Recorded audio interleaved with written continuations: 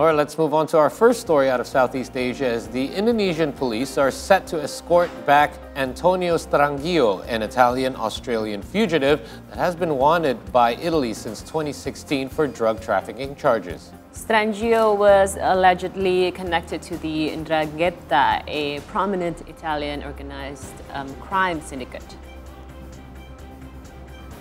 The 32-year-old man had been on the run for the past seven years for smuggling 160 kilograms of marijuana.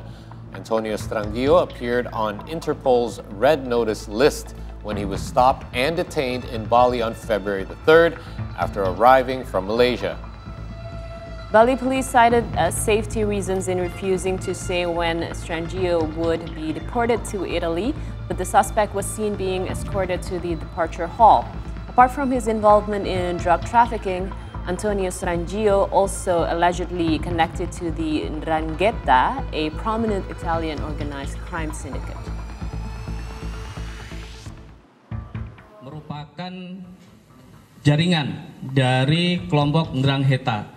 'Ndrangheta sendiri juga sudah dilakukan operasi khusus di antara negara-negara Eropa bahwasanya memang seluruh anggotanya merupakan eh, subjek-subjek uh, red notice berkoordinasi kepada NCB Roma melalui sistem polis to polis bahwasanya yang bersangkutan harus segera dikirimkan ke Italia.